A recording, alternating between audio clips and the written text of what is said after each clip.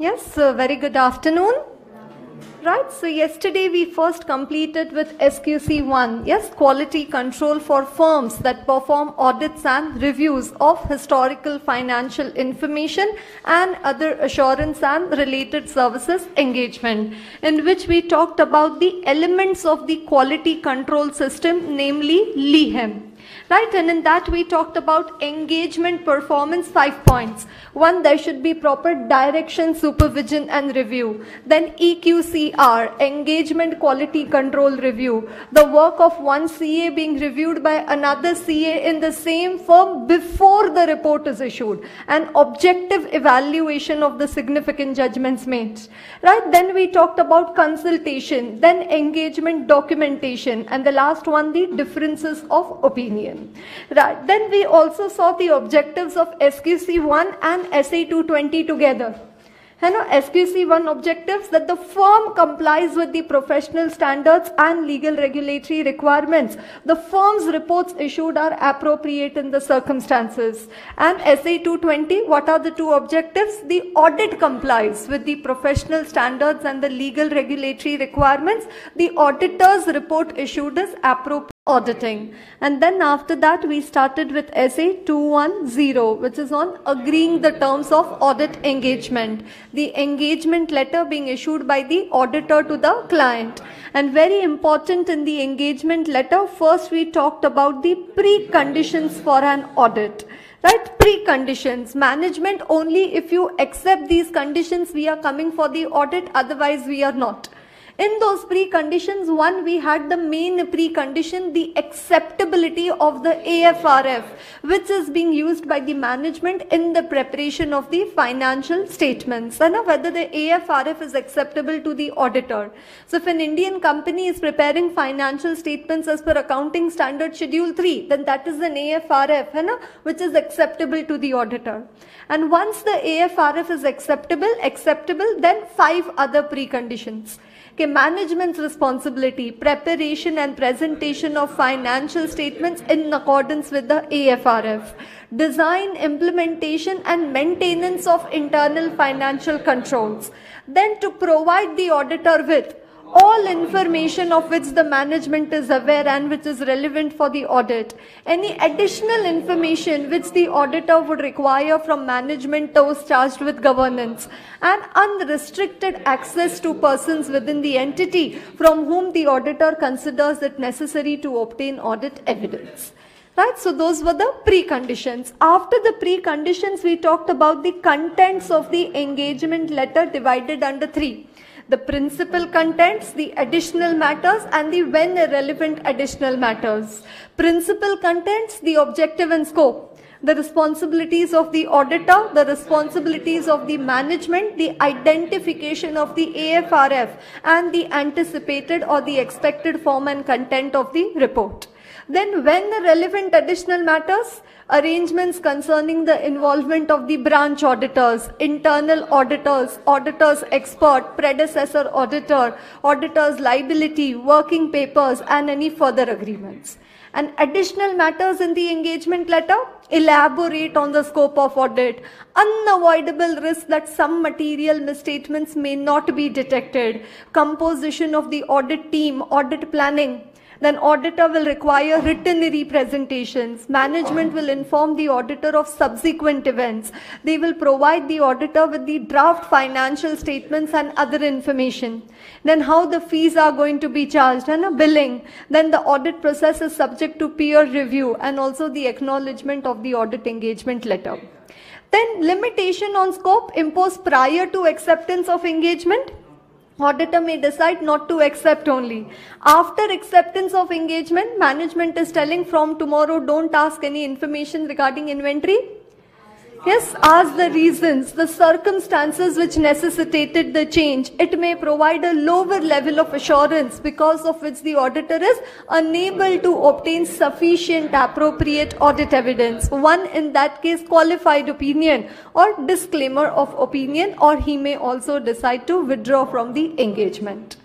As such, for a recurring audit, you are not required to send a new engagement letter for each period. But there are circumstances which warrant the auditor to send a new engagement letter for each audit.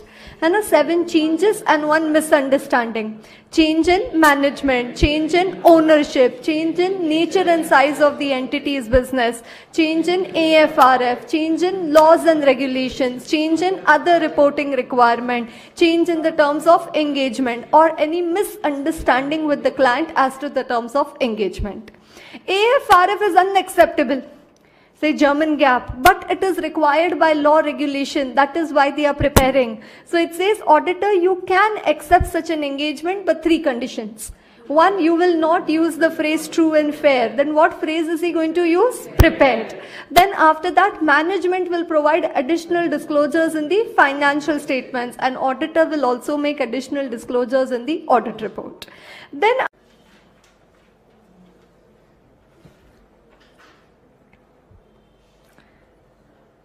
Right, then after that we studied SA 230 which was on audit documentation. What is audit documentation? A record of the audit procedures performed, the evidence obtained and the conclusions reached. Right, then we talked about the first question in that SA, the nature and purpose of audit documentation. Okay, why audit file should be made in an audit right so main purposes served by audit documentation basis for conclusion that the overall objective of the audit has been achieved and that the audit has been planned and performed in accordance with the standards and legal regulatory requirements. An additional purposes served by audit documentation assist the engagement team to plan and perform the audit, to direct, supervise and review the work done, accountability for work done, record of reference for future audits, quality control reviews and inspections and external inspections as required by legal regulatory requirements. Then we talked about the form content and extent of audit documentation. And the seven points in the form, content and extent of audit documentation. The audit file should describe what were the audit procedures performed, evidence obtained, conclusions reached matters communicated to TCWG, any departure from any SA, any new audit report issued in exceptional circumstances, and any inconsistent other information. And then we talked about the factors affecting the form, content, and extent of audit documentation, means the factors affecting the file size. Okay, when will your audit file become fatter? And so when your client is fatter, and the size and complexity of the entity, the risks of material misstatement. We said go go. And the risks of material misstatement, the procedures performed, the evidence obtained, the conclusions reached, the exceptions identified, and also the audit methodology and the tools used. Then working papers, we said OPC. You remember OPC? Objective Procedure Conclusion. Objective Procedure Conclusion. We saw one working paper of debtors also. So also so tests performed, the information obtained, the conclusions reached, all is to be given in the working papers. And then we talked about the ACM, the Audit Completion Memorandum. And it is a summary of all these significant matters identified during the audit, that is the cream. How they were addressed and that includes cross references as to where the related information can be found in the audit documentation. Any SA not followed, you can mention it in the ACM. And again, what is the big time advantage of the ACM? Efficient, effective reviews. Right? And audit documentation is whose property? It is the property of the auditor. At his discretion, he may make portions of or extracts from his working papers available to the clients. Yes, and confidentiality not to disclose the secrets of the client unless required by law or taken prior consent of the client for the same. So right, there was one three mark question asked in the exam. Should auditor provide information to the regulators and third parties? Right? So one, what did we say? As per Chartered Accountants Act, you're not supposed to breach confidentiality. Second, also as per SA 200, you need to comply with confidentiality requirement. Third, we said as per SQC 1, audit documentation is the property of the auditor. And fourth, we said SA 230, additional purposes served by audit documentation, external inspections as required by legal regulatory requirements. So what does it say? The auditor may provide access to Yes, a very good afternoon. Right, so we completed with SA 240 the auditor's responsibilities relating to fraud in an audit of financial statements. Right, so an exclusive standard only talking about the audit procedures in relation to fraud. Right, and as per SA 240, there are two types of fraud and a fraudulent financial reporting and misappropriation of assets right? And then fraud risk factors is equal to events conditions or situations which provide an incentive pressure or which put an opportunity provide an opportunity to commit a fraud. And then we also said clause 10 of CARO 2016 any fraud on or by the company by its officers or employee noticed or reported during the year. And then 143.12 duty to report the fraud to central government. And then we also said management override of controls is equal to JV testing. And then we talked about the risk assessment procedures and the responses in SA 240 right? Risk assessment procedures, they were IIAFRF. Inquiries of management and others within the entity, inquiries of TCWG, analytical procedures, and the evaluation of the fraud risk factors. Inquiries of management, have they done the risk assessment due to fraud? What are the responses of the management to the risk assessed? What communication has the management done with TCWG regarding fraud? Fraud. What communication with the employees regarding the unethical behavior of the employees? And also the communication, the inquiries with the internal auditors. Then TCWG, do they have knowledge of any fraud? And also how are they supervising the management process? Then analytical procedures, wherever it is unusual fluctuation, again it could be an RMM due to fraud. And then you need to do the evaluation of the fraud risk factors again which have been first divided under the two types of fraud. Fraudulent financial reporting and misappropriation of assets. Under fraudulent financial financial reporting, we said management characteristics and influence over the control environment, industry conditions, operating characteristics and financial stability. So rather the indications of going concern and know, financial indications, operating indications of going concern. And then over here we said attitudes and rationalizations, pressures and incentives and opportunities to commit a fraud. Right? Then after that, whatever risk we assess in SA 240 is called as fraud risk and to presume fraud risk in SA 240. One, revenue recognition and second, MOC, management override of controls. And then what are the responses of the auditor? More of an attitude of professional skepticism, more experienced staff, increased evaluation of accounting principles and practices, and more sensitivity to the possibility of management override of controls. Yes, it says this risk is nevertheless present in all entities. It may only vary from entity to entity. So as an auditor, we need to make inquiries of the management, inquiries of those individuals who are passing these journal entries into the system. Then test check journal entries at the end of the period as well as throughout the period. Also check the amount. The amount over here is going to be an estimate. And estimates means there could be management bias and that we audit it in accordance with SA 540. And then in the audit procedures, and we discuss firstly, secondly, thirdly, and finally. Firstly, to check whether the financial statements are materially misstated due to fraud and also whether the audit risk requires revision and a revision of the assessment of audit risk. Second, the impact of the fraud on the financial statements and the auditor's report.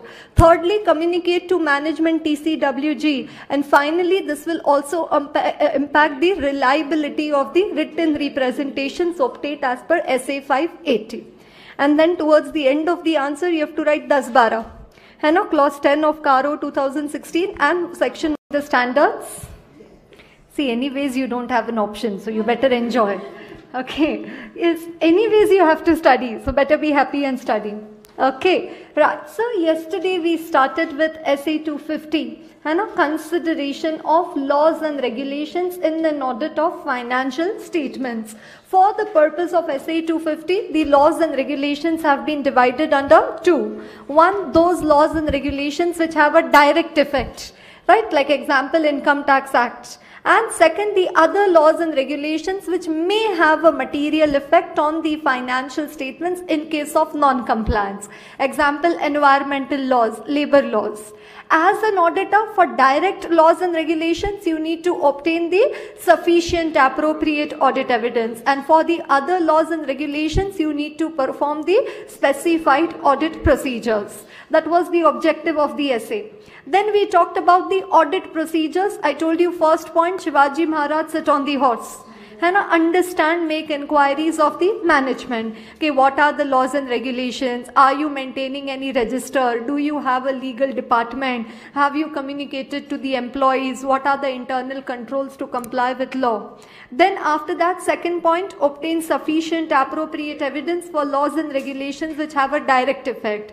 Third point, for other laws and regulations, perform the specified audit procedures, that is inquiries of management and inspection of correspondence with the regulatory authorities. Then procedure number four, remain alert throughout the audit to identify instances of non-compliance. Because what is the funda of the auditor? Directly ask and indirectly check. And whose responsibility to comply with laws and regulations? Management's responsibility. So obtain the written representations from the management in this regard. Okay, all laws and regulations which are applicable to the entity have been complied with and any non-compliances have been disclosed to the auditor. Then after that, by performing these procedures, if you come across a non-compliance, first you need to check the effect of the non-compliance on the financial statements. One, it may affect the going concern. Second, it may affect the true and fair view. Third, it may require a disclosure or it may lead to fines, penalties, damages, litigations or so. Then the reporting of non-compliance is to be done to the management, to the shareholders and to the regulators. To the management, you will communicate it to the next higher level of management. However, if there is no next higher level, then seek legal advice. Right to the shareholders by modifying your opinion in accordance with SA 705 and to the regulator depending upon the requirements of laws and regulations. And then we talked about the indications of non-compliance. है ना indicator because of which you may think कुछ तो non compliance होगा। Payments है ना can you tell me the list of payments fines penalties bribes excessive sales commission payment for purchases which is significantly above और below the market price payment to number of bank accounts payments to companies registered in tax havens very good payments through bearer checks,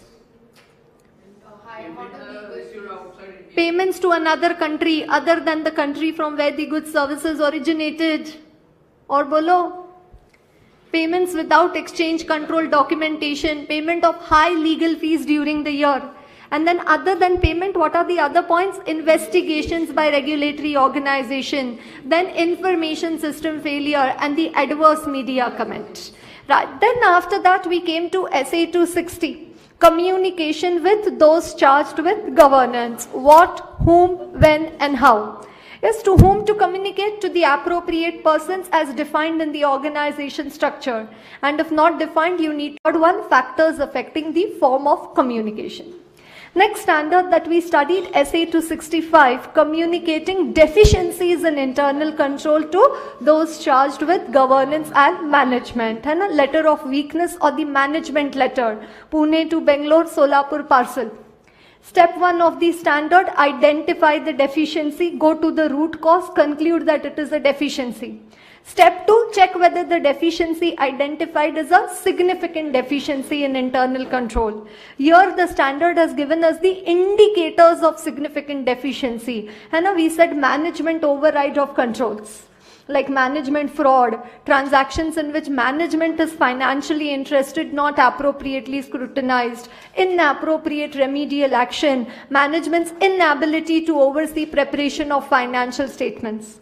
Then no risk assessment process, ineffective risk assessment process, ineffective responses to address such risks misstatements detected by the auditor and prior period items coming in the current period financial statements. Then after that, we said communicate in writing to TCWG and communicate to the management on a timely basis. At such a point of time, TCWG can discharge their oversight responsibilities. So listed entities before approval of financial statements, other entities you can also communicate at a later date.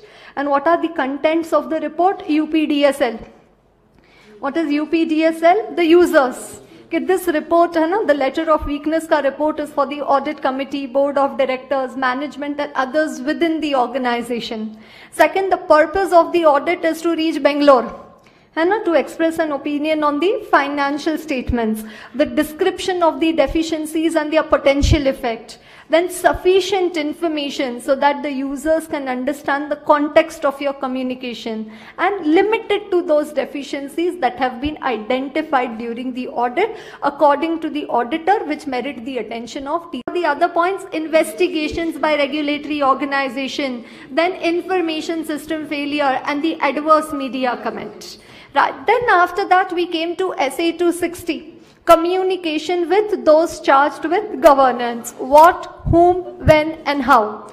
Yes, to whom to communicate? To the appropriate persons as defined in the organization structure. And if not defined, you need to have an agreement with the client. What to communicate? TCWG is equal to IFRS auditor's independence, significant findings from the audit, auditor's responsibilities in relation to the financial statement audit, and the planned scope and timing of the audit. In the significant findings from the audit, we have five points. One, significant qualitative aspects of the entity's accounting practices, including policies, estimates, and disclosures. Second one, significant difficulties encountered in performing the audit honor Remember, unavailability of expected information, unexpected effort required, unwillingness of management to do the assessment of going concern. Then, yes, un unnecessarily brief time given for the completion of the audit. Then significant delays in management providing information and restrictions on the scope imposed by the management. Then after that third point, unless TCWG are also involved in managing the entity, the significant matters and written representations the auditor is requesting. Under significant matters, we have five matters, A, B, C, D, E. And the appointment of the auditor, then the accounting practices, the fees, the other services, then the changes in the business conditions, then the consultations taken by the management of other accountants, then disagreements with the management regarding any accounting treatment or so, and any significant events or transactions of the entity. Then after that, after significant difficulties, then what, it, what was, unless TCWG are also involved in managing the entity, then what was the fourth point in significant findings? Circumstances that may affect the form and content of the report. And the last one, any other matters, which in the auditor's professional judgment should be communicated to TCWG.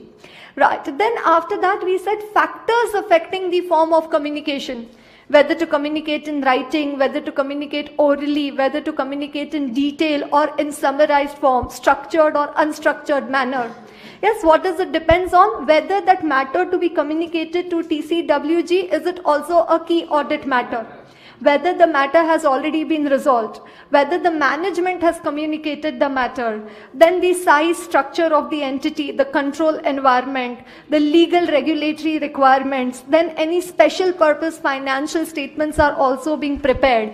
The expectations of TCWG, the ongoing dialogue between the auditor and TCWG, and changes in the membership of the governing body in the organization. Right? That was factors affecting the form of communication. I told you 260 revised standard 1st april 2017 so more questions expected in your exams. And now two questions. One significant difficulties encountered. Next significant matters identified during the audit. And third one factors affecting the form of communication. Next standard that we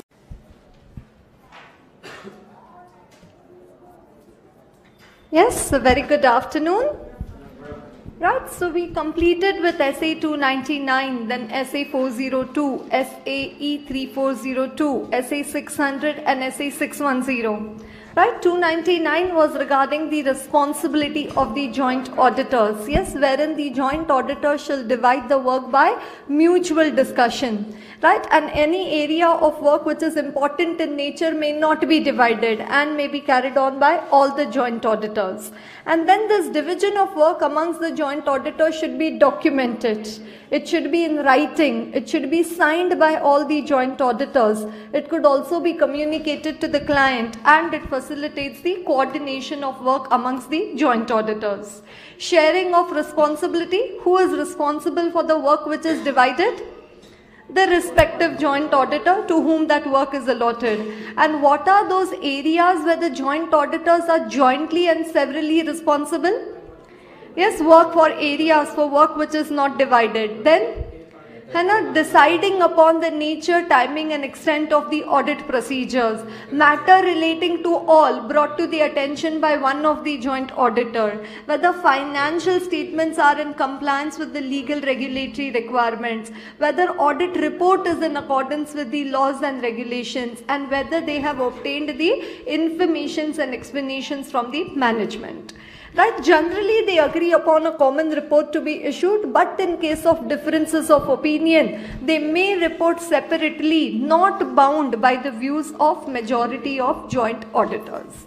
Next, after that, we came to SA 402 and SAE 3402. And 402, first we saw 10 definitions user auditor, user entity, service auditor, service organization, sub-service organization, complementary user entity controls, type 1 report, type 2 report, and inclusive method and the carve-out method. Then what was the first step of the standard? Understand.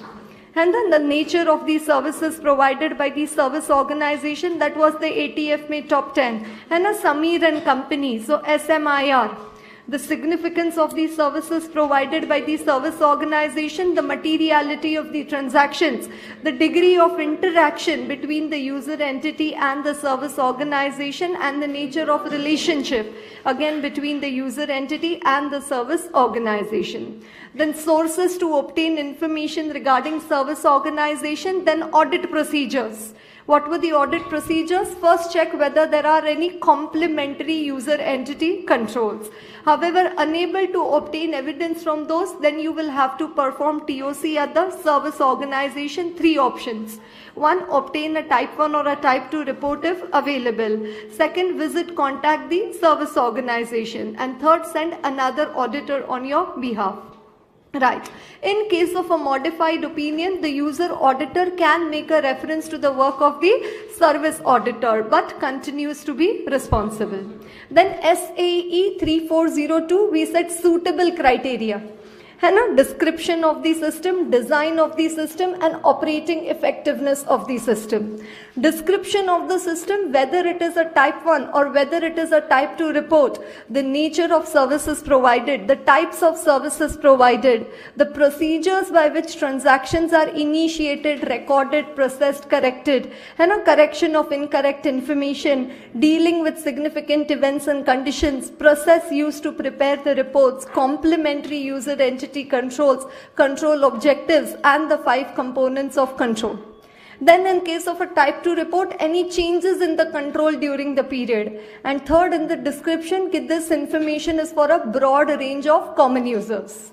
Then in the design of the system, have they done the risk assessment and whether accordingly the controls have been suitably designed to provide a reasonable assurance. And then last one, whether these controls have been consistently applied throughout the period. Right, so that was SAE 3402, Assurance Reports on Controls at a Service Organization. Then we came to SA 600 है ना S A six hundred then S A six one zero and then S A six twenty right se 600 is regarding using the work of another auditor this another auditor means the branch auditor right and what were the points for the branch auditor 1 c cube and then we had ADV and C cube ADV. What was C cube ADV? One, consider the competence of the branch auditor if he is not a chartered accountant. Second, coordinate with the other auditor while planning the work consider the significant findings of the other auditor, advise the other auditor as to the significant accounting, auditing and reporting requirements, discuss with the other auditor if need be, and visit the other auditor if required. You understand? So we said na ekdam chote bhai ke jaise.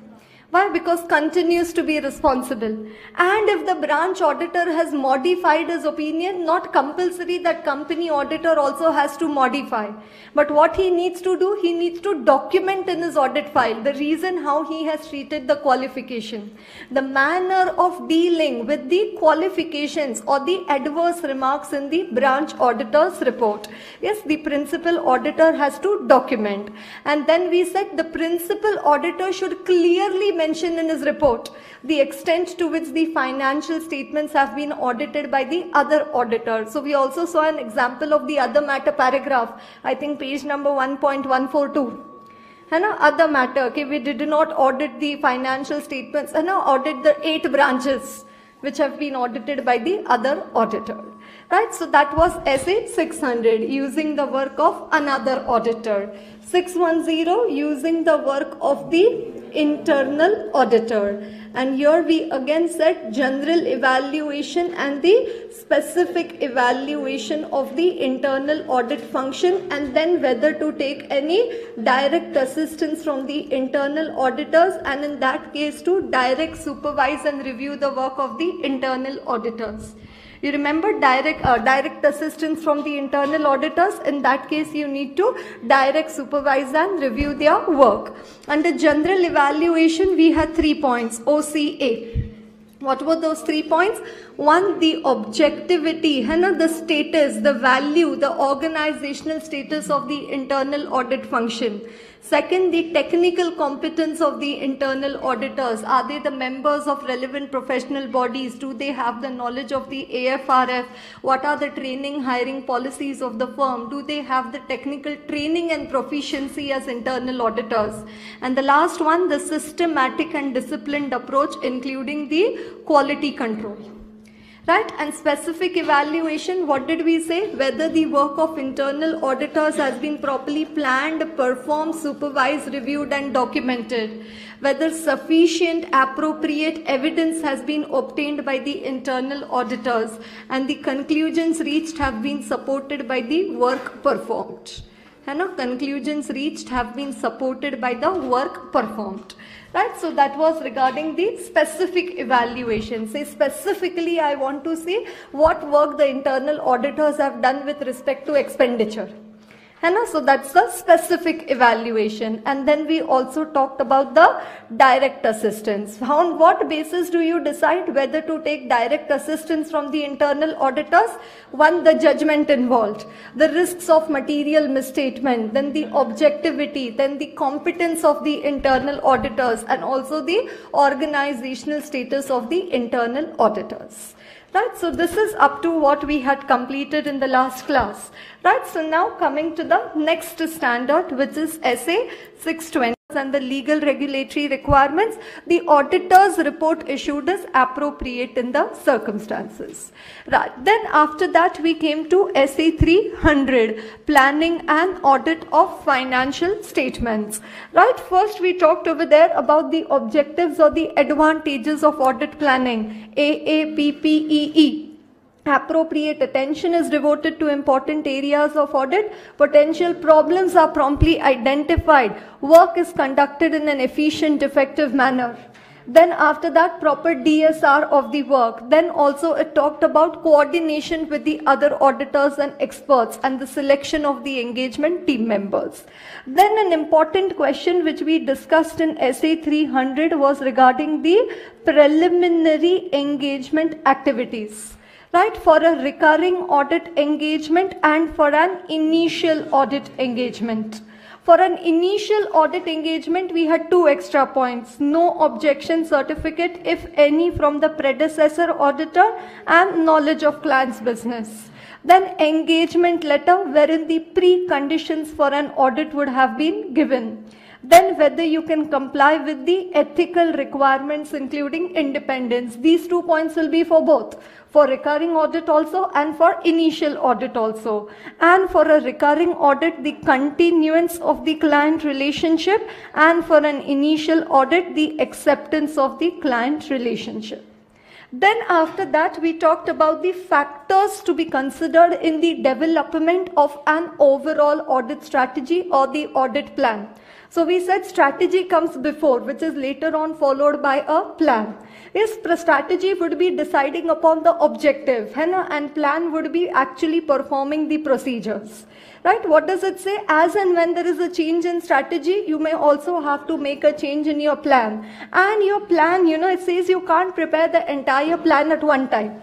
Like if once you perform the plan for performing risk assessment procedures, then you need to wait to perform the risk assessment procedures. Because the results of risk assessment procedures will help you to determine the further audit procedures. And then a very important question, factors to be considered in the development of the overall audit plan or the audit strategy the objective and scope of the engagement. Then after that, professional judgment, which area significant effort is going to be required. Then the results of the preliminary engagement activities. Then the laws and regulations which are applicable to the entity and how the entity is complying with those laws and regulations.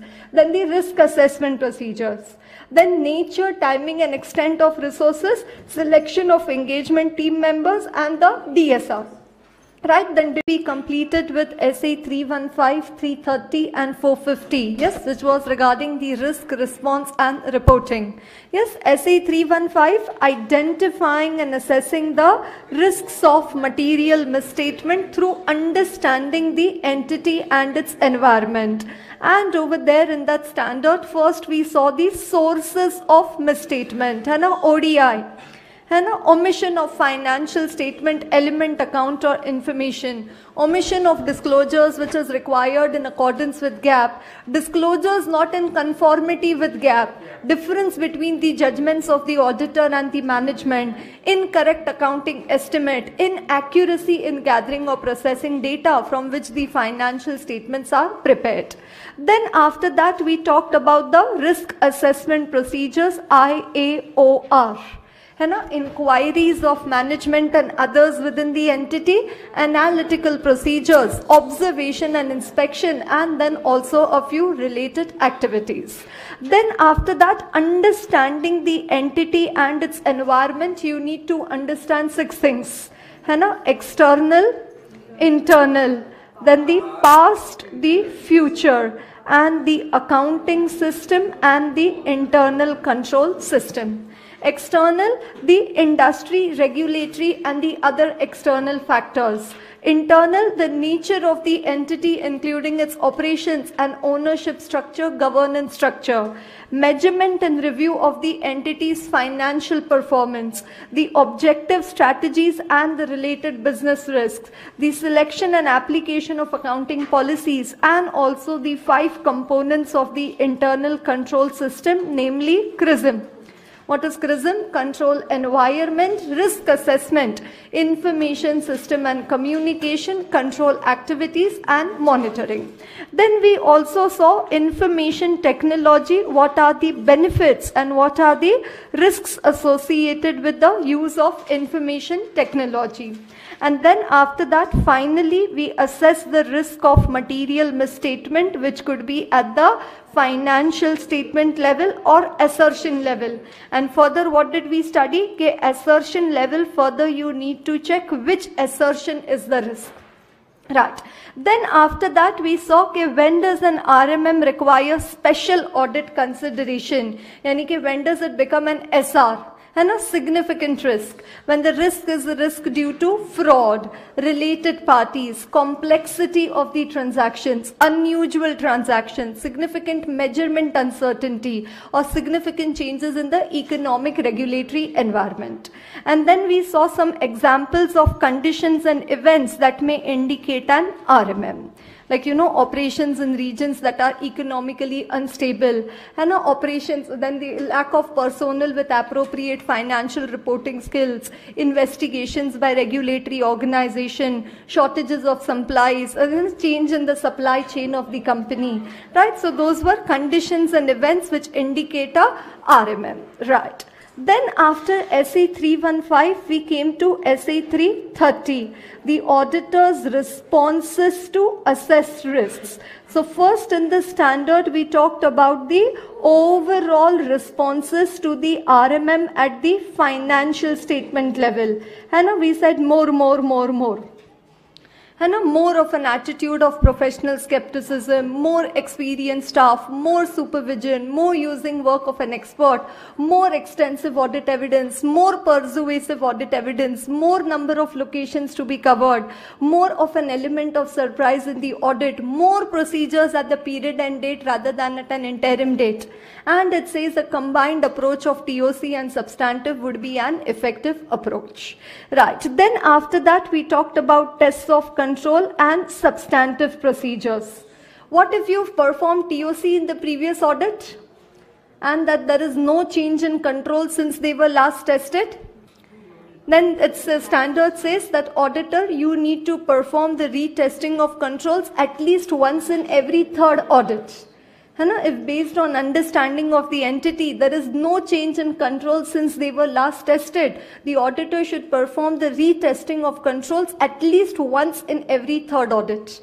So one audit you did TOC, two audits you can go on a holiday. Then again the fourth audit you'll have to do TOC. Again two holidays, then again TOC.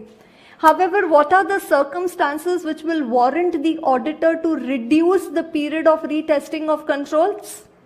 Weak control environment, weak monitoring of controls, weak general IT controls, changes in the personnel, changes in the circumstances, nature and size, and also inappropriate manual intervention.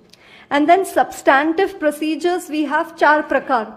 You understand, no? Test of details, substantive analytical, agreeing the financial statements to the underlying records and examining material journal entries. And what was the first line in substantive procedures? Irrespective of the assessed RMM, the auditor shall design and perform substantive procedures for each material class of transaction, account balance, presentation and disclosure.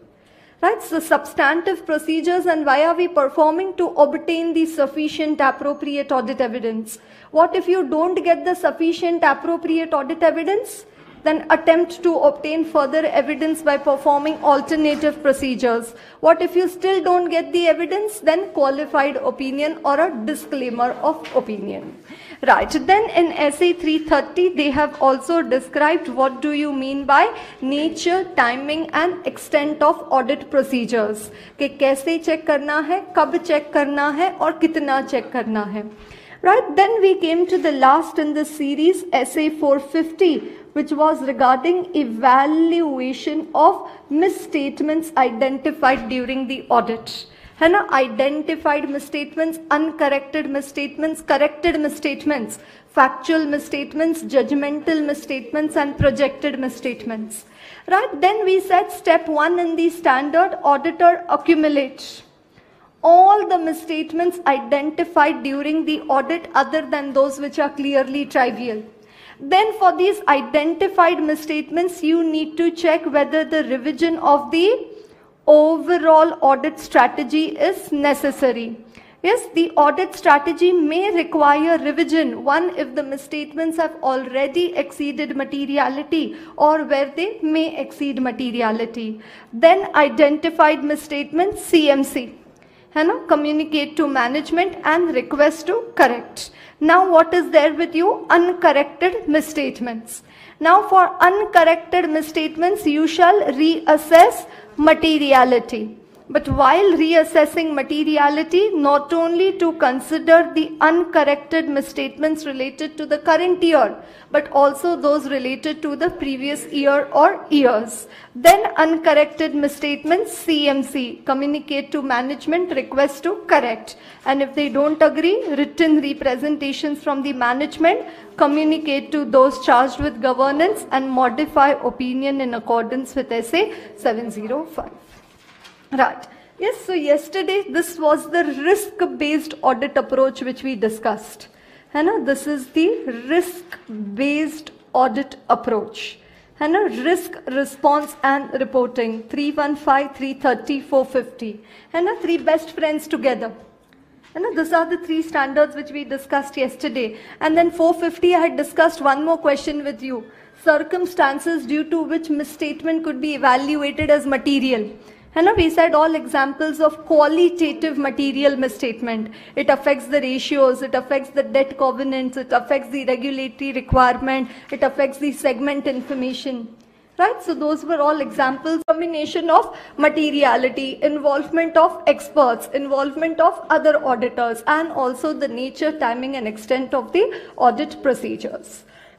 then after the standard, we came to SA 320, materiality in planning and performing an audit. Right, the concept of materiality, any item or information which might influence the decision making of the users. So for the auditor, it is a matter of auditor's perception. It is his professional judgment and regarding what would be that amount which might influence the decision making of the users. Materiality can be set for overall financial information as well as for individual account balances. Materiality is both quantitative as well as qualitative in nature. Some items which individually may not be material but the aggregate may be material, है performance materiality. And then sometimes even these statutory provisions contain an element element of materiality. Right, then we said performance materiality, an amount set by the auditor below materiality in order to reduce to an appropriately low level the probability that the aggregate of uncorrected plus undetected misstatements could exceed materiality है ना छोटा छोटा छोटा मिलके मोटा है ना aggregate of individually immaterial misstatements may exceed materiality. This is a risk in the audit. And to mitigate this risk in the audit, the auditor sets one more level of materiality below materiality, which is called as performance materiality. Yes, it is also nothing but tolerable misstatement as will be discussed in SA 530. Then we said there is an inverse relationship between materiality and audit risk. And for the determination of materiality, the auditor uses the concept of benchmarking. Yes, you need to select an appropriate benchmark from the financial information.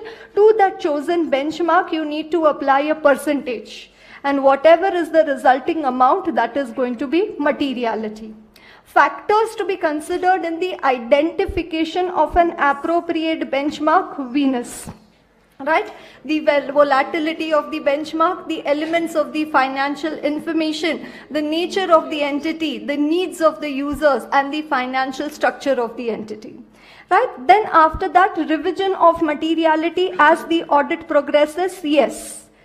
Can the auditor revise materiality as the audit progresses? Yes, whenever there is a change in circumstances, changes in the auditor's understanding, any new information, any additional information. And then one more point we said, so that to check more samples, in, you know, auditor initially sets a lower level of materiality. And then it the time comes for evaluating the results, he increases the amount of materiality. Right, so that was SA 320, materiality in planning and performing an audit. So this standard, they made reference to three things, no? Three SAs. One, SA 320 is talking about materiality in planning and performing an audit. Then SA 450 is talking about materiality while doing the evaluation of the identified and uncorrected misstatements in the audit.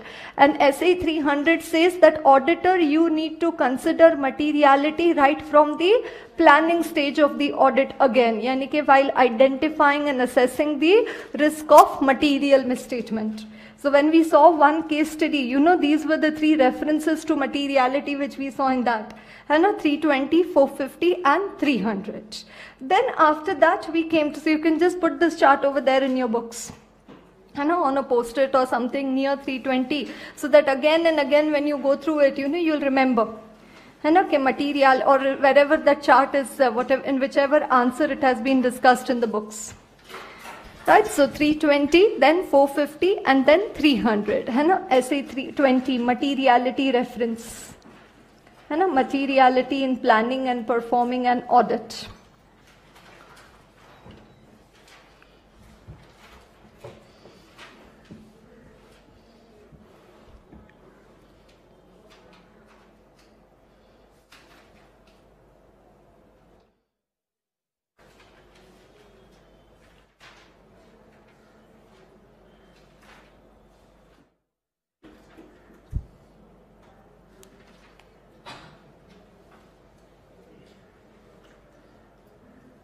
CWG. Right, then after that we started with the 500 series. Right, 500 we've already done audit evidence. Then yesterday we started with 501, audit evidence specific consideration for selected items. Three selected items over there, existence and condition of inventory, completeness of litigations and claims, and presentation and disclosure of segment information. What was the first one? Existence and condition of inventory divided under two. Inventory of the client which is with the client and second inventory of the client but which is lying with the third party. Inventory with the client attend the physical verification count being conducted by the management at the year end date unless impracticable. And do what? Evaluate management's instructions, observe the count procedures, inspect the inventory, re-perform test counts, and also reconcile with the actual inventory records. Not possible on year-end date, attend on some alternative date and additionally check for the intervening transactions. Yes, not possible to attend inventory count even on year-end date or an alternative date, then in that case you need to perform the alternative audit procedures. Still you are unable to obtain sufficient appropriate audit evidence, then modify opinion in accordance with SA 705. This part of the answer we have already marked it as ATFA top 10. Yes, very important. Second one, inventory lying with the third party, confirmation from the third party. You go, and perform do the inspection of inventory lying with the third party. Send another auditor on your behalf. Obtain the third party auditor's report. Inspect the documentation regarding the movement of goods. And again, where inventory has been given as a collateral, you can obtain a confirmation from the third party. Second one, completeness of litigations and claims corresponding to AS 29 है ना provisions contingent liabilities completeness मतलब what all whether all litigations and claims which should have been accounted for or disclosed whether they have been accounted for or disclosed matlab it could be provision or it could be a contingent liability step 1 shivaji maharaj sit on the horse understand make inquiries of the management what is the funda of the auditor directly ask indirectly check so indirectly review the legal expenses account, inspect the minutes of the meeting and also obtain the written representations from the management. These are normal audit procedures when completeness of litigations and claims has not been identified or assessed as an RMM. These are two Gulab Jamun procedures. And these are two procedures. Then when it has been identified as an RMM, then what are the additional procedures which you need to perform? Right? Direct communication with the lawyers. ना? Direct communication with the lawyers. Not possible. Then send letter of inquiry prepared by the management. Right? When you check for completeness you're bound to check for valuation and measurement in accordance with SA 540 accounting estimates. Management law prohibits you from obtaining the information, perform alternative procedures. Still you are unable to obtain evidence, then modify opinion in accordance with SA 705.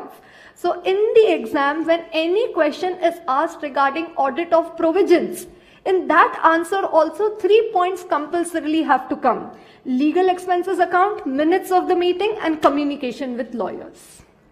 Pakka, these three points have to come legal expenses account, minutes of the meeting and direct communication with the lawyers. Right, so this is up to what we have already completed yesterday.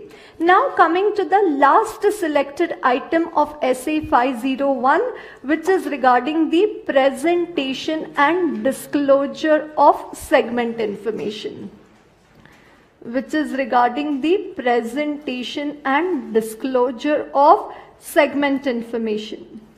Yes, can anybody tell me which is the corresponding accounting standard? AS 17, no? Segment reporting. What does AS 17 say? Okay, the biz performance of the company can be classified under business segment or geographical segment. Out of that, one has to be the primary segment and the other will be the secondary segment. One out of them has to be the primary segment and the other will be the secondary segment. So like, you know, business segment is geographical, like you say, you know, the company is into salt and software.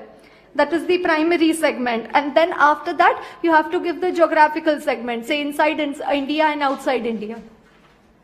You understand? Inside India and outside India. So business segment and geographical segment and primary segment and secondary segment. Okay, now we have to study how to do the audit of the same. So say in the notes to account of Reliance Industries, this segment information has been given. How to do the audit of that segment information is what we are discussing in SA 501. Say in the exams, you know, in the audit paper, it comes question number seven, write short notes on presentation and disclosure of segment information. So now students who've not studied a standard or who don't know that there is also auditing standard about this will start writing the companies to which AS 17 is applicable. Then how do you identify the segments? Then you know they have to write segment income, segment expense, segment profit, segment asset, segment liability, unallocable income and expense. And you have to write all that. Then they'll write business segment, geographical segment, primary segment, secondary segment. One and a half page answer they will write. And then after coming out from the exam hall, I don't know why, but they still do that analysis, okay, how much they will get. You understand? So now when they do this analysis, they think, you know, presentation and disclosure of segment information, one and a half page answer, everything I've written perfect. However bad examiner checks my paper, two marks to nowhere. Two marks to, matlab two marks to aak band karke. But this much to I am going to get in that. Okay, and by doing all this, 2 mark, 1 mark, 3 mark, 4 mark, somehow you manage to bring the total at 45 and just make yourself happy. Yes, yes, audit clear this time. Understand? And then when you see the paper, you know, the result, okay, that time you see 32. And then you start cursing ICAI. You understand it is like this only and whatever. Okay, but then that's what the difference, no, between what is asked and what has been written. And they have asked you how will you do the audit of segment information. You have written what is segment information. So certainly you are not going to get marks. You understand? So now presentation and disclosure of segment information, whose responsibility? Management's responsibility. So procedure number one, understand. Make inquiries of the management. So go to the management and ask them, management, the segment information which is given in the notes, please tell us how have you prepared the segment information. So they say, Are CA, this time, to no, we had no time only to prepare segment. So what we did, you know, this time, new idea, new idea. What is the new idea that they have made? April to March, 12 months, na? So they say 12 months ka 12 segments. We've shown April ka revenue, March, uh, um, April ka revenue, May ka revenue, June, July, August, September. C A से is अभी तो थोड़ा time हो गया है मेरे को सी ए बन के मतलब अभी it's been a time that since I studied A S seventeen but last what I remember of A S seventeen is something called as business segment geographical segment है ना primary and secondary I don't know whether AS17 has been modified to include time segments also. So you've understood the method, what they are giving month-wise segments. Now, is this segment information in accordance with the AFRF? No. Is their method in accordance with the AFRF? No. So second thing, once you've understood their method, you need to check whether the method is in accordance with the AFRF. Here, what is the relevant AFRF? AS17. And you need to check, have they complied with the requirement of AS17? So whether the method is in accordance with the AFRF. So they've explained you the method. Okay? This is how we prepare segment information. So that is only design. This is how we prepare. But actually have you prepared using that method? Yani ke second one, test the application of the method. Otherwise design is there, but there is no implementation. है ना method बताते वक्त ये बताया but actually calculate करते वक्त some other है ना एक्चुअली प्रिपेयर करते वक्त some another method So understand the method, then check whether the method is in accordance with the AFRF, then test the application of the method. And the last one, you can also perform some analytical procedures for the segment information. I think I have given you this example. It affects the segment information, salt and software. है ना salt का revenue went in software and software का revenue came in salt but total revenue was proper I told you, na, last year salt ka revenue 300 crore, this year salt ka revenue 3000 crore. Last year software revenue 2700 crore, this year software revenue 400 crore. You understand now? So what has happened? Swapping error, na? transposition error, what you call. Software ka revenue has come in salt and salt ka revenue has gone in software. So that is why this when you'll come to know when you perform analytical for the segment. क्योंकि total level पे तो दोनों tally होने वाला है. This is 3000 crore and this is 3400 crore. Total is बराबर. So what does it also say? You need to perform the analytical procedures for the segment information. Right? And these are the audit procedures which you need to perform for the segment. Yes, presentation and disclosure of segment information. Does everybody get that? Okay, so that completes SA 501 and I've already seen the question bank yesterday only with you.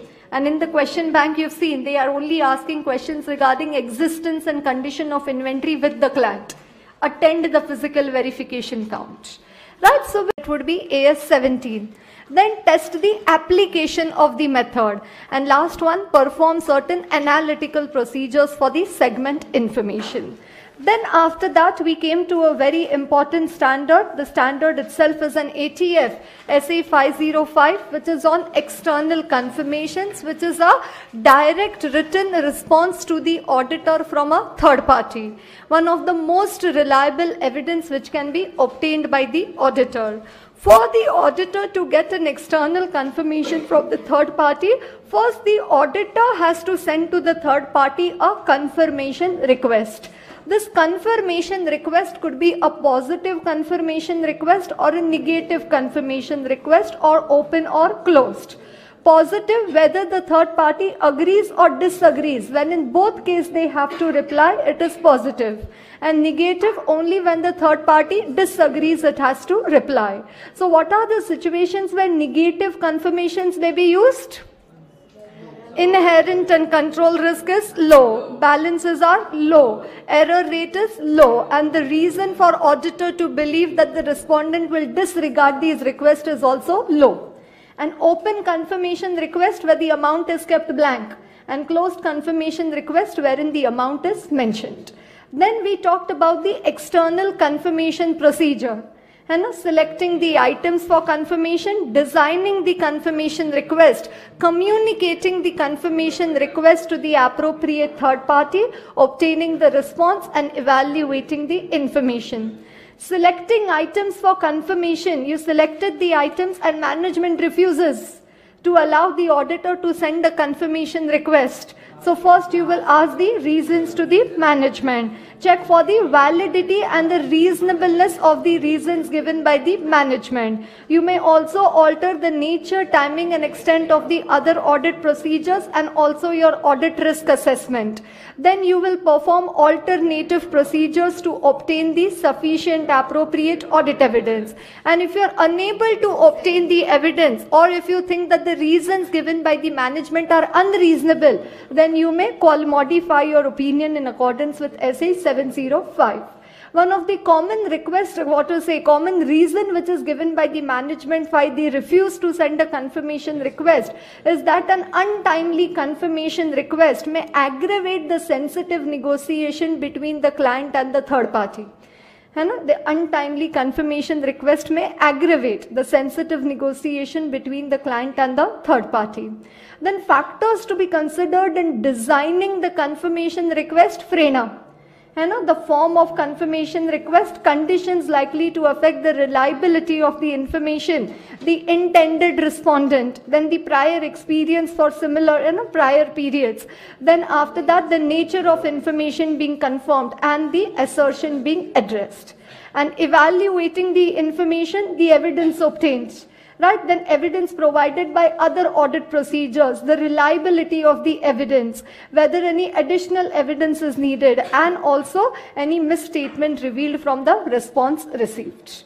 Then after that, we came to SA 510, initial audit engagements, opening balances where either the last year was not audited or it was audited by a predecessor auditor. Procedure number one, auditor, you need to check whether closing balances of the preceding period have they been correctly brought forward to the current period. Procedure number three, to check whether accounting policies have been consistently applied.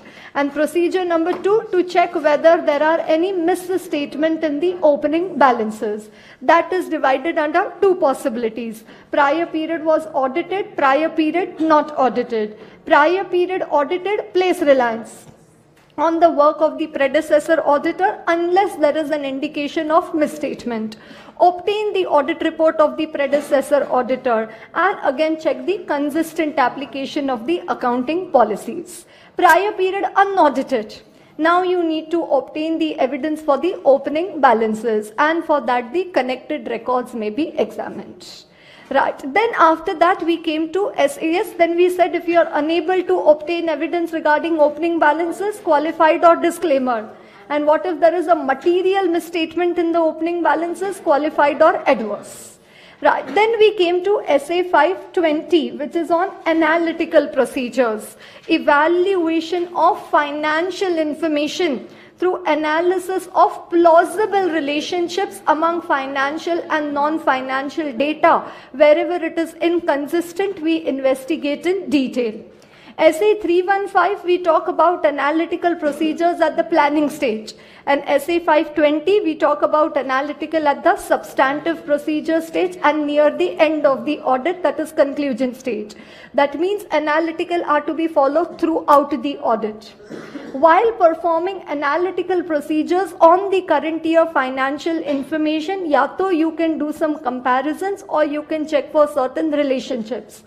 Comparison of current year financial information can be done with the prior periods or it can be done with similar industry information or it can be done with the anticipated results, any the budgets. Yes, relationship of financial information, you can check it with the non-financial information or you can do some trend analysis or some ratio analysis. Then when you come to substantive, there is a competition going on between two. Detailed checking or analytical checking. Detailed or analytical. First, you should see whether analytical can be done. Because detail can always be done. So what we discussed, factors to be considered while using substantive analytical procedures. Suitability, reliability, expectation and materiality.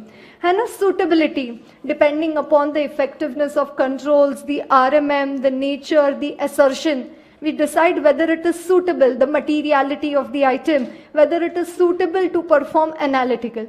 Then the reliability of the data, the source of the data, the nature of the information, the controls over the preparation of the data, and the comparability of the data.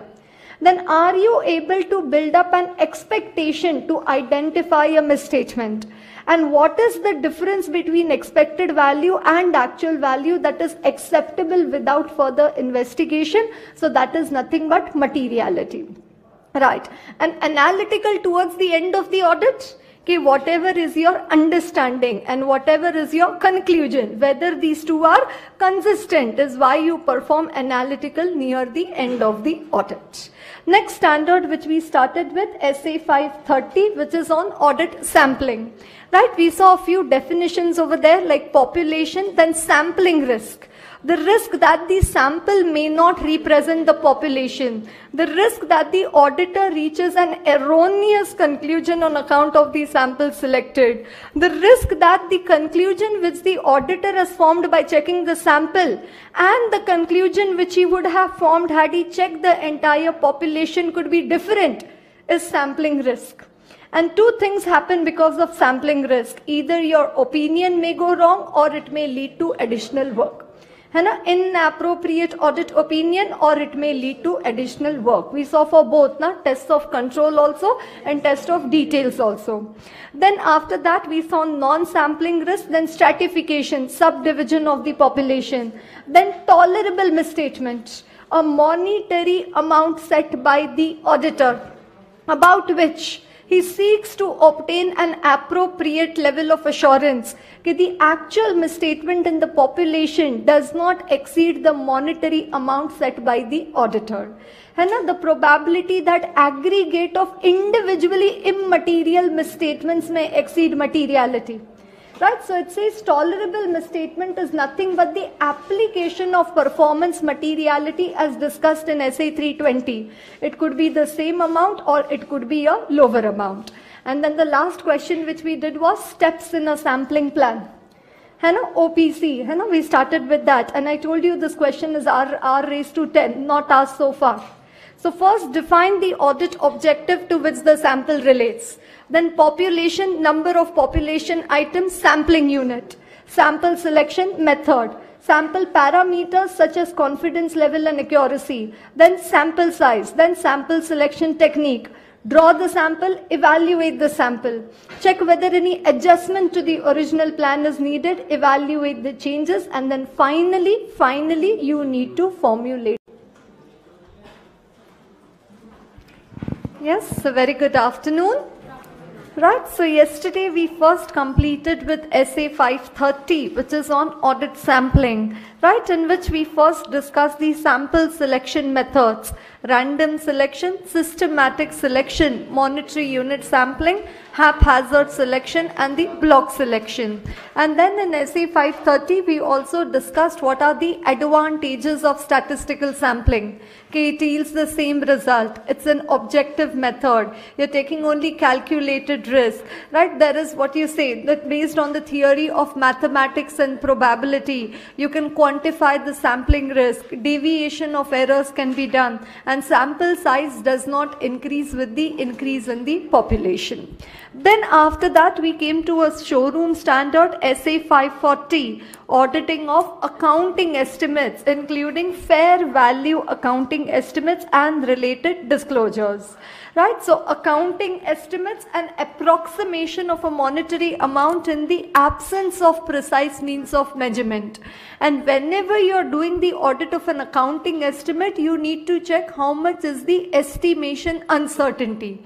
And how much is the inherent lack of precision in its measurement. And the more the degree of estimation uncertainty, the more would be the risk of material misstatement.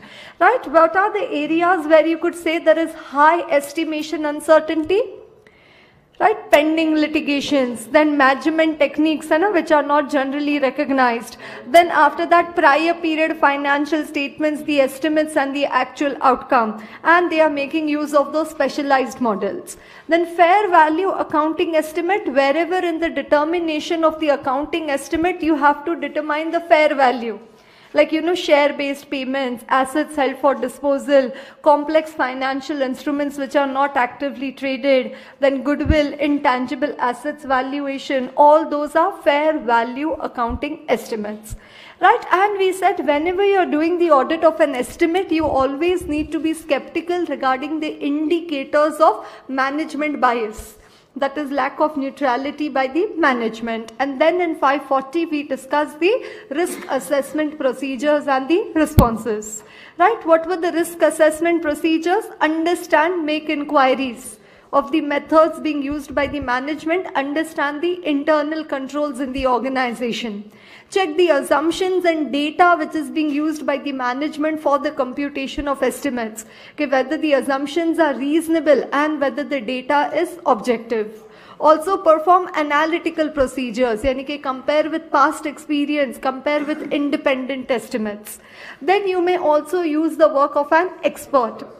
Then review the formula, check the calculations, check for any subsequent events and also check compliance with the requirements of the AFRF. Right, then after that we came to the responses. Now the auditor starts raising his voice. Okay, whether the method of measurement used by the management, is it appropriate in the circumstances? Then what does it say? How did the management address estimation uncertainty? How alternative assumptions have been rejected by the management? Then management's decision to recognize or not to recognize an estimate in the financial statements. Audit evidence about compliance with the AFRF. And you also need to obtain the written representations from the management. Next standard which became entire standard being an ATF SA 550 which is on related parties. And we said four terms, no? Related parties and then RTID. Relationships, transactions identified and disclosed.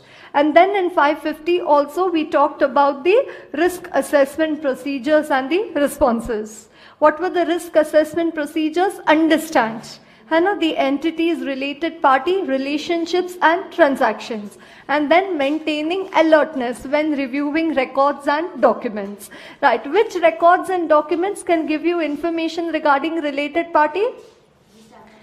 Yes, the statutory registers, the minutes of the meeting, confirmations from third parties, investments made during the year, income tax returns, unusual transactions, joint ventures entered during the year, life insurance policies taken, contracts renegotiated during the year, papers filed with SEBI, prospectus. Right? These are sources and a shareholders register. Right? These are the records and documents and from where you can get information regarding the related parties. And then sharing the related party information with the members of the engagement team. Then after that, we talked about the responses. What was the first response of the auditor for? What was the first response of the auditor for? Unidentified, undisclosed, related party relationships and transactions. Do you remember NERP? And a newly identified related parties. So what are the audit responses or the procedures which you will follow for newly identified related parties? Promptly communicate to all members of engagement team and to the management. Then management, two things. To identify all the transactions with these newly identified parties and also what is the weakness in their system. Then perform additional procedures whether there are any more such unidentified related parties. Then perform substantive procedures for these newly identified related parties. And if the auditor comes to know that the non-disclosure to the auditor was intentional, then he also needs to consider the implications on fraud in accordance with SA 240. Right. Then second response of the auditor was for related party transactions which are outside the normal course of business, ONCB. Hana, ABCD. Who authorized? Who approved entering into such a transaction outside the normal course of business and that too with a related party? Second, what is the business rationale? Then third, whether the terms of transactions are they consistent with the management's explanation and whether the transaction has been accounted for and disclosed in accordance with the AFRF. Yes, do you get that? Then third response of the auditor was for related party transactions. Are they the arm's length transaction? Then audit evidence about disclosures in accordance with the AFRF, that is AS 18. And again, obtain the written representations from the management. So I told you now, generally when a question is asked regarding related parties, what all references are you going to make? one SA 550, then AS 18, then Companies Act 2013, and then also clause 13 of CARO 2016, which is regarding related parties. Right? Then after SA 550, we studied yesterday SA 560, which is on subsequent events. Hana, events occurring after the date of the financial statements till the date of the auditor's report and facts that become known to the auditor after the date of the auditor's report. After the date of financial statements till the date of auditor's report, it could be a type 1 event or it could be a type 2 event. Type 1 event will require adjustment and type 2 event will require disclosure. As an auditor for type 1, type 2, we would like to obtain sufficient appropriate audit evidence. And for facts, that had these facts been known to the auditor on the date of the report, it would have caused the auditor to amend the auditor's report. And to facts, you need to respond appropriately. Right, then what were the audit procedures to identify subsequent events? What was the first and last point? Hannah, understand, make inquiries of the management. And last point, obtain the written representations from the management. And beach may, what were the points? Read the latest. Right, the minutes of the meetings. Hannah, read the latest, the minutes of the meeting then the budgets, the cash flow forecast, etc. Then we set the interim financial statements and, and also the latest position of the legal cases. Right? Also read about the latest position of the legal cases. Right? So those were the audit procedures to identify subsequent events. And what inquiries of the management will you do regarding subsequent events?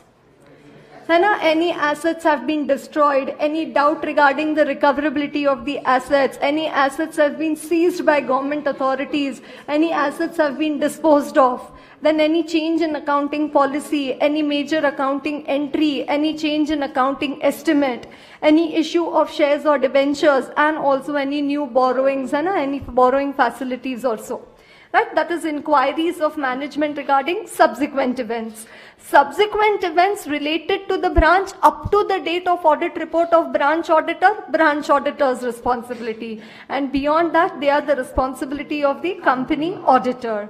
And then facts that become known to the auditor after the date of the audit report has been further divided under two before the financial statements are issued and after the financial statements are issued before and after in both cases DDI.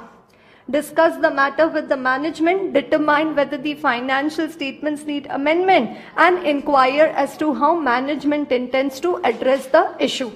Right, then in both cases, two, two possibilities. Management amends, does not amend, management amends, management does not amend before after the date of the report but before the financial statements are issued and management amends it's called as revision of financial statements. So what does it say? Carry out additional audit procedures restricted to that amendment.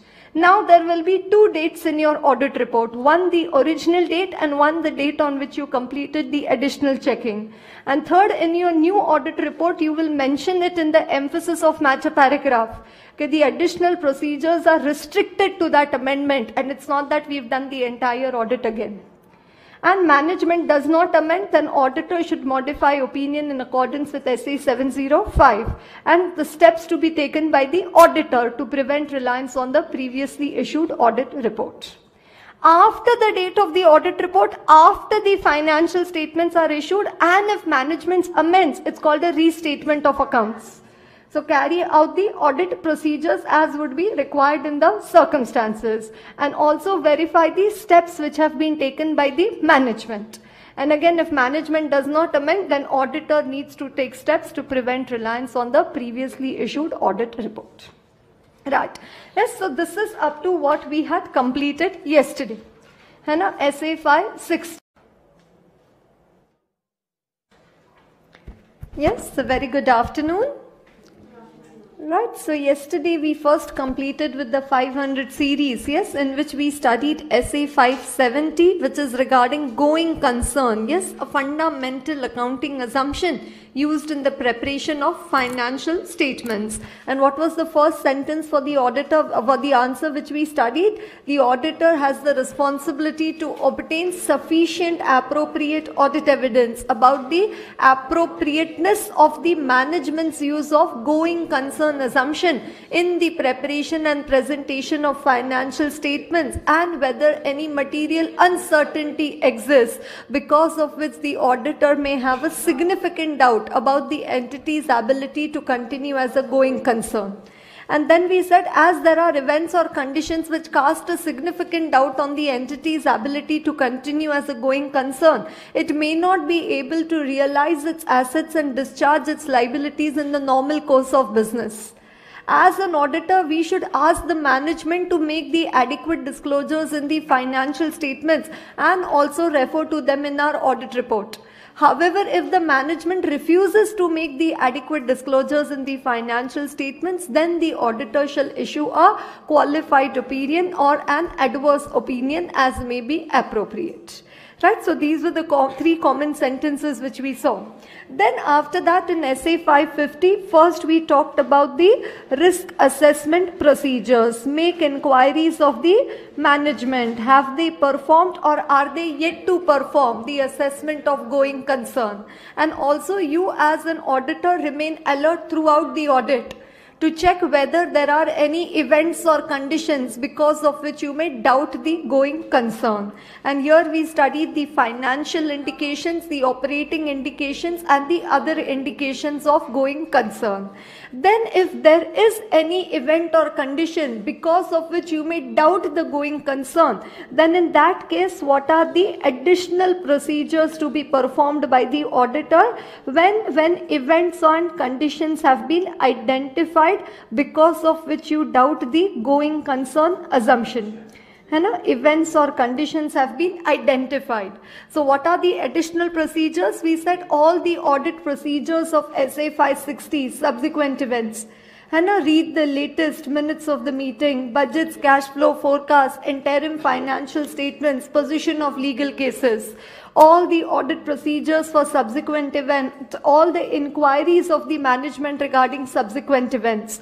Then if management has not yet performed the assessment of going concern, we shall request the management to perform the assessment. We will also check what are the future plans of the management. Yes, and also the feasibility of those plans. What could be the future plans of the management to liquidate assets, to reduce or delay expenditure, to borrow money, to restructure debt, to increase ownership equity. Then we will also take the prospective financial information, the forecast from the client. We will also check the data, the reliability of the data, whether the assumptions are adequate. And we shall also obtain the written representations from the management. And then last one, we came to the going concern and the audit report. And a going concern assumption is appropriate, unmodified opinion. Second, going concern assumption is questionable but resolved by management explanation. Again, unmodified with a material uncertainty related to going concern paragraph. And after the opinion and the basis for opinion paragraph. Going concern questionable and management disclosures also found to be inadequate, then qualified or adverse depending upon the pervasiveness. And if going concern assumption is inappropriate, in that case it would be an adverse opinion. Right, so very important standard. We've seen in the case studies, you know, 10 questions have been there you know, from RTP suggested put together. Right. Then after that, and the last standard in the 500 series was SA 580 written representations, which is not a substitute for the normal audit procedures to be performed by the auditor. Then it is mainly to be used as a corroborative audit evidence. That is, it should be reasonable and consistent with the other audit evidence available then the person giving the representation on behalf of the management should be well informed of the matter. And where it is a matter of intention, in that case, representation is the only evidence available with the auditor. Right. Then we said contents of written representation. Have you fulfilled the preconditions acknowledged in the terms of engagement? And second, the representations required by the other standards on auditing. Then management's refusal to provide the written representations to the auditor DD doubts regarding the integrity of the management. And second you first you will discuss the matter with the management. And second you will also have doubts regarding the integrity of the management. And as they are not giving you written representation it may also be considered as a limitation on scope. And then modify opinion in accordance with 705 Next one, reliability of written representations. Here we said II. Doubts regarding the integrity of the integrity, ethical values, diligence of the management. You will also doubt the reliability of the written representations. And second, if whatever they have given in the representation is inconsistent with the other audit evidence available, first you will attempt to resolve the inconsistency. However, if it remains unresolved, then again you may conclude that written representations are not reliable and the impact will come on the auditor's report. Date of written representation as near as practicable but not after the date of the audit report. Period, the period covered by the auditor's opinion. And what if there is a change in management during this period? It does not diminish the responsibility of the current management to provide the representation for the whole of the relevant period. Right. Then after that we came to the two standards in the 700 series, SA 710 and SA 720. Yes, 710 comparative information corresponding figures and comparative financial statements. Corresponding figures where only previous year figures are given, the auditor's opinion is only for the current period comparative financial statements where entire previous year set of financial statements is given and the auditor's opinion is for all the periods. Right now, Indian company schedule 3 requirement is corresponding figures, right? Then what are the procedures which you need to perform for this comparative information? One, agree the balances with the prior period. है ना current year financial statements previous year column and last year financial statements current year column. You need to tick tock agree the balances with the prior period. Check whether accounting policies have been consistently applied. Any misstatement in the comparative information not reported for that follow SA 560 and obtain written representations from the management including for any prior period items. Then we, yes, after that we talked about the reporting on comparative. Yes, and two possibilities, corresponding figures and comparative financial statements. Corresponding figures, last year there was a misstatement and it was reported and it was not reported. And under reported, we say two things. It is resolved, it is not resolved. If it is resolved, no need to mention about it in the current year report. However, it is not resolved, then modify the current report. Last year there was a misstatement but you did not report it last year. Modify current opinion with respect to corresponding figure. Prior period was audited by predecessor auditor other matter paragraph. Okay, prior period has been audited by predecessor auditor, type of opinion and the date of report. And prior period unaudited, again other matter paragraph that prior period figures are unaudited comparative financial statements, there is a difference in your opinion as compared to prior period. Reasons to be given in the other matter paragraph. Prior period audited by predecessor auditor, again other matter paragraph and if you think that the opinion of the previous auditor is not right, he should have issued another report. So the auditor shall inform the management. And the current auditor will inform the management. The management will inform the predecessor auditor and then he shall follow SA 560. And again prior period unaudited, then again other matter paragraph. Then we came to the last one in the 700 series, SA 720 the auditor's responsibility in relation to other information. It talks about other information in documents containing the audited financial statements. So we said contents of annual report minus financial statements is equal to other information. And what did we say? Whatever is the financial information in the other information, is it consistent with the financial statements? And for that auditor, you need to read the other information, preferably before the date of audit report, otherwise as soon as practicable. Why do you want to read it? To check the consistency. And what if there is an inconsistency? Then you need to decide what requires revision. And then we developed a chart. You read the other information before the date of the report, after the date of the report.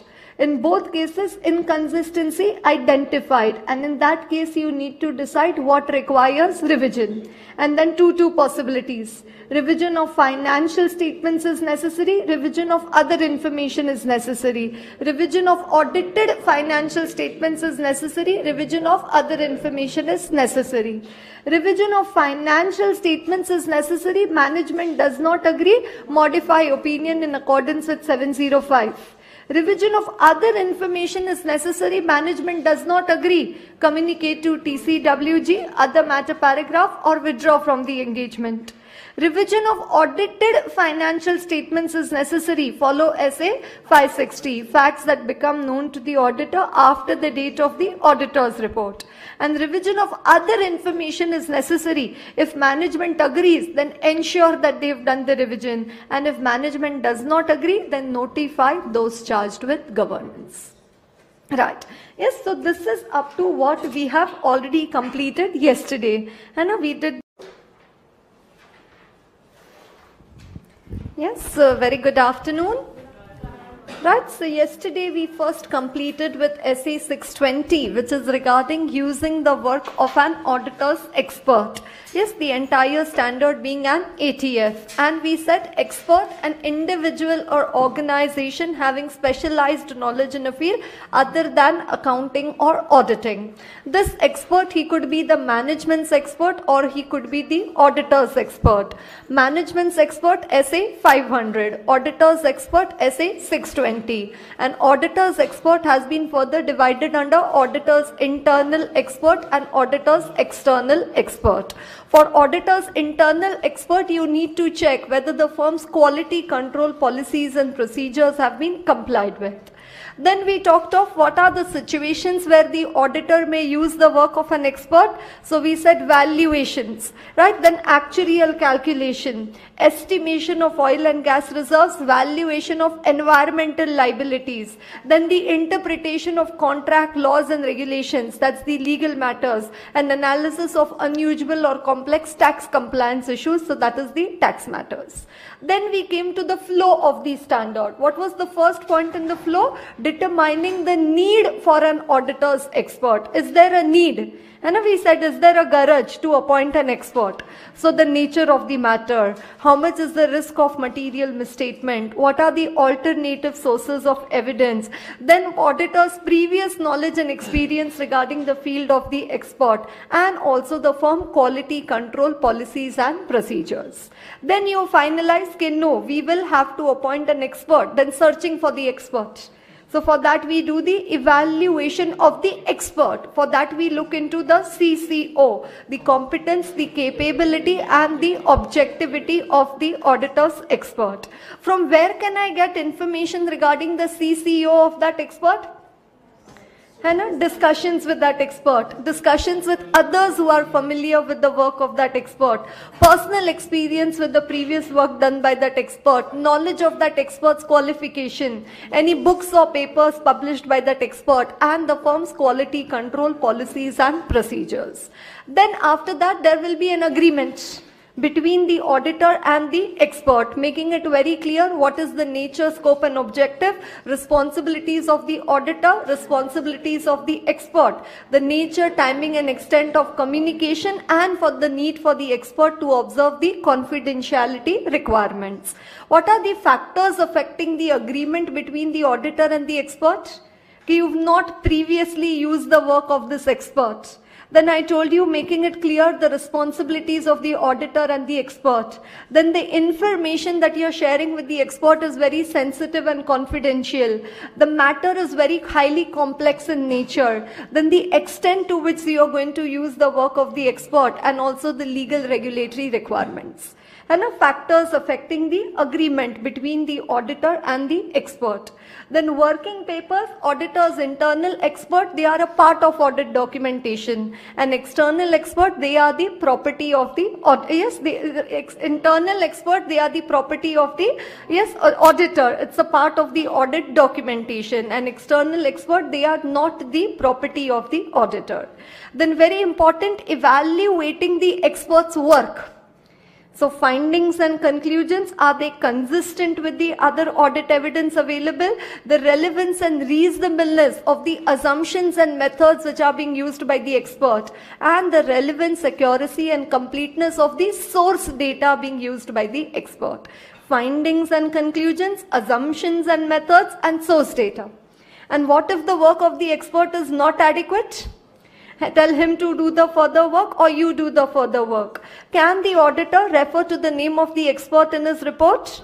unmodified opinion he can no reference modified opinion he may make a reference but even though if he makes a reference ctbr and prior permission of the expert is to be taken so what did i tell you what are the three important questions of sa 620 one evaluation of expert cco second the sources to obtain information regarding the expert and third one the evaluation of the expert's work findings and conclusions assumptions and methods and the source data. Right, yes, these three are very important from SA 620. Then after that, we came to the entire 800 series, 17. Right, so what's the title of SA 700? Forming an opinion and reporting on financial statements. In order to form an opinion in accordance with SA 700, auditor, you need to check whether the overall objective of SA 200 has been achieved or not. For that, you need to check which is the AFRF. Is it a compliance framework or is it a fair presentation framework? If it is a compliance framework, matlab say example only accounting standards. And fair presentation means accounting standards plus schedule 3.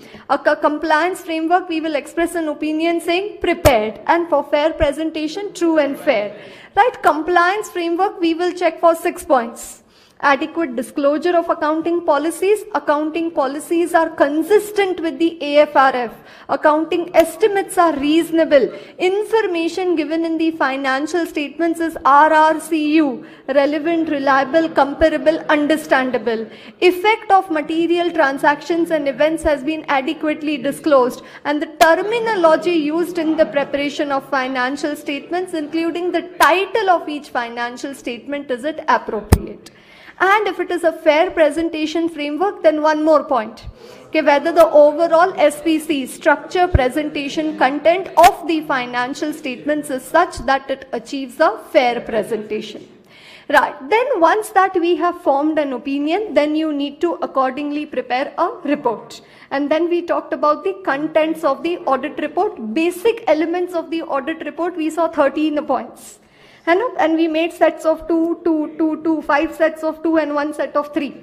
Right. So what were the first two in the set? Title and addressee. Hai Independent auditors report to the members of ABC company. Then after that, what were the next two? Opinion and basis for opinion. In the opinion, first we have those five points, no? introductory paragraph, we have audited the accompanying financial statements of ABC Company Limited, which comprise the balance sheet, profit and loss, cash flow, notes for the year ended 31st March 2018. Right, so opinion and then over there we also had the true and fair view or prepared. And give the information required by the act and give a true and fair view of the state of affairs, profits or loss and cash flows of the entity. Right. Then after that, basis for opinion. Now, whether even if it's an unmodified opinion, this paragraph will come only. Basis for opinion. And what were the contents and basis for opinion? SRES. That we have conducted our audit in accordance with the standards on auditing specified under section 143.10 Then what was the next one?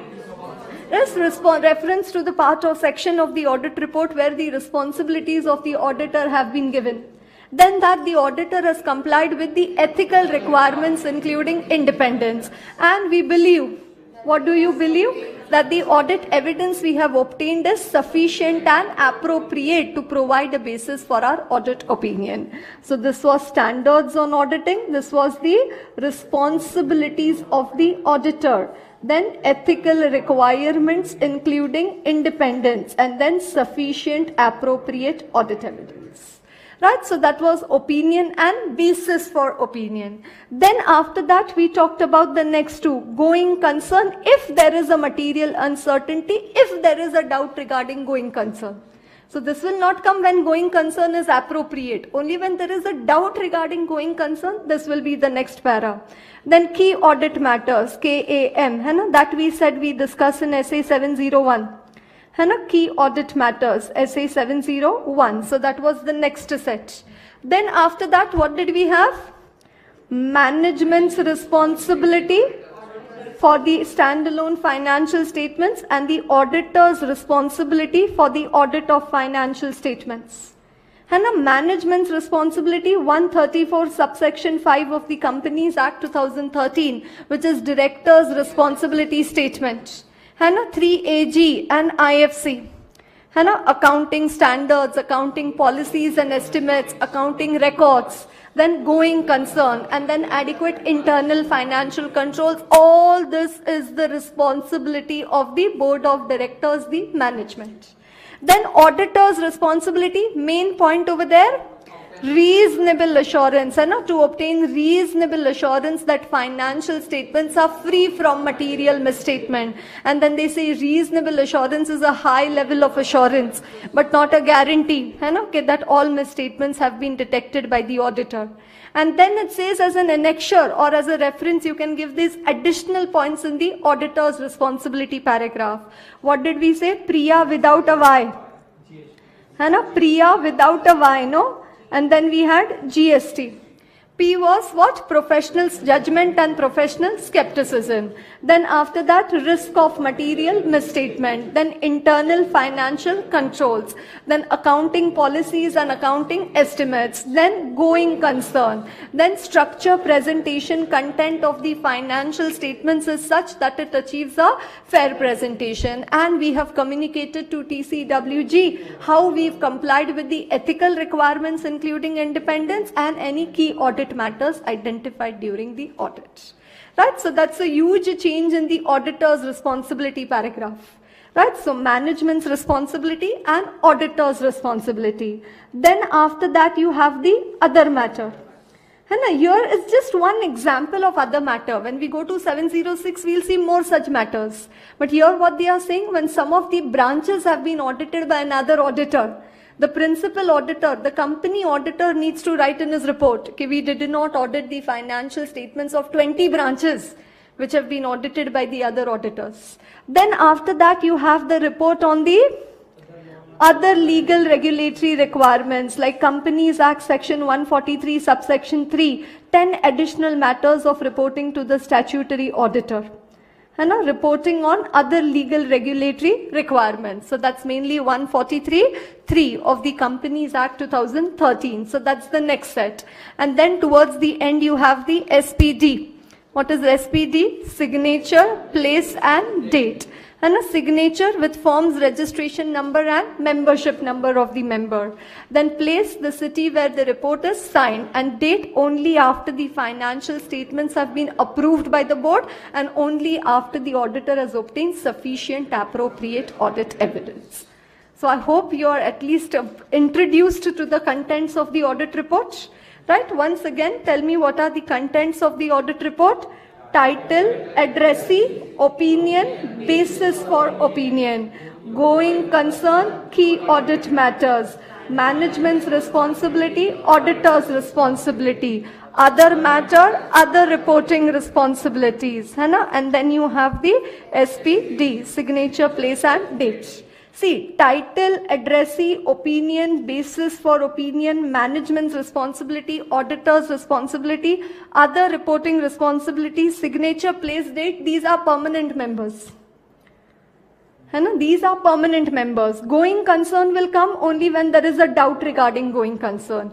Key audit matter will come only when there is a key audit matter. Other matter paragraph, it will come in this example when branches have been audited by the branch auditors. Baki, this management's responsibility, auditor's responsibility, opinion, basis for opinion, these are fixed members. And these are always going to be coming in the report. Right? So these are the basic elements of the report as given in SA 700. Right. Then after that we had started with SA 701 communicating key audit matters in the end and the effect on the audit of transactions and events that were significant. Right. Then after that, we came to a very important standard, SA 705, modifications to the opinion in the independent auditor's report. Yes, two reasons as to why an auditor may modify his opinion. One, yato there is a material misstatement. Yato the auditor is unable to obtain sufficient appropriate audit evidence. For these two reasons, you need to check is it material but not pervasive or material and pervasive. Material misstatement, material but not pervasive. Qualified opinion, financial statements give a true and fair view except for the effect of. Right, material misstatement, material and pervasive financial statements are not true and fair, adverse opinion unable to obtain evidence material but not pervasive again qualified opinion except for the possible effect of the matters described in the basis for qualified opinion paragraph, the financial statements give a true and fair view and unable to obtain sufficient appropriate audit evidence, material and pervasive disclaimer of opinion because of the matters given in the basis for disclaimer of opinion paragraph. We are unable to obtain sufficient appropriate audit evidence and that is why we do not express an opinion on the financial statements. So little bit of material misstatement, then qualified. Lot of material misstatement, then adverse. Little bit evidence you did not get, then qualified. Lot of evidence you did not get, then disclaimer of opinion. Then we said that even the contents of the audit report undergo a change in case of a qualified opinion, in case of an adverse opinion, and in case of a disclaimer of opinion. Right. What are the changes to the contents in case of a qualified opinion? Title, addressee, qualified opinion, basis for qualified opinion. Right, basis for qualified, first you will write down the reasons for the qualification and then S R E S in that S we believe that the audit evidence we have obtained is sufficient and appropriate to provide a basis for our qualified opinion. Then after that, management's responsibility, auditor's responsibility, other reporting responsibilities, and then the signature, place and date. Right? Adverse opinion, again, title, addressee, adverse opinion basis for adverse opinion again the reasons why you are issuing an adverse opinion and SRES and S we believe that the audit evidence we have obtained is sufficient and appropriate to provide a basis for our adverse opinion. Then management's responsibility, auditor's responsibility, other reporting responsibilities and signature, place and date. And one more after the basis for qualified and after the basis for adverse, we will be putting the key audit matters. Okay, there are key audit matters other than those in the base given in the basis for qualified opinion paragraph or there are no other key audit matters other than those given in the basis for qualified or adverse opinion paragraph. Then disclaimer of opinion, title, addressee. Then disclaimer of opinion, basis for disclaimer of opinion and you will only write the reasons as to why you are issuing a disclaimer of opinion. Then management's responsibility, auditor's responsibility, now SES. है ना S standards on auditing E ethical requirements including independence and we we were because of the reasons given in the basis for disclaimer of opinion paragraph we were unable to obtain sufficient appropriate audit evidence then other reporting responsibilities and then after that you have the signature place and date right then after sa 705 okay 705 we talked about one more thing consequence of an inability to obtain sufficient appropriate audit evidence due to a limitation on scope imposed by the management. So first what you will do, you think now this limitation on scope may lead to a modified opinion, qualified or disclaimer. First you will request the management to remove the limitation. If the management refuses, then you will perform alternative procedures to obtain sufficient appropriate audit evidence. However, even after performing the alternative procedures, you are unable to obtain sufficient appropriate audit evidence and it is material but not pervasive, then you will issue a qualified opinion. And if it is material and pervasive, then withdraw from the engagement or disclaimer of opinion. And if you withdraw from the engagement before withdrawing, you need to communicate to TCWG the reasons for the withdrawal. And we also went to section 140 subsection 2, resignation of the company auditor. And before the expiry of his term. So within 30 days from the date of resignation, the auditor has to file form ADT3. And after that, we had started with SA 701, communicating key audit matters in the independent auditor's report. And communicating key audit matters. And what was the first important term over there? Okay, matters of most significance. And these are the matters out of the matters which have been communicated to TCWG. And then the scope of the SA, we say that key audit matters is not, is not a substitute for M. For M kya hai? You understand, is not a substitute for Management may requiring to make disclosures in the financial statements as per the AFRF for a modified opinion to be issued in accordance with SA 705. Then for a material uncertainty relating to going concern and a separate opinion on individual matters. Key audit matters is not a substitute for M. We said that yesterday. And then after that we said determining the key audit matters. So what were the matters we said? One, risk of material misstatement and significant risk. And what are the RMM and the SR, risks of material misstatement and significant risk. Then significant auditor judgment involved, mainly areas where there is high estimation uncertainty. Right, and then the effect on the audit of transactions and events which have occurred during the current period and an effect on the audit of the transactions and events which have occurred during the current period. And what description do you have to give in the key audit matter paragraph? Okay, why this is a key audit matter and how it has been addressed during the audit.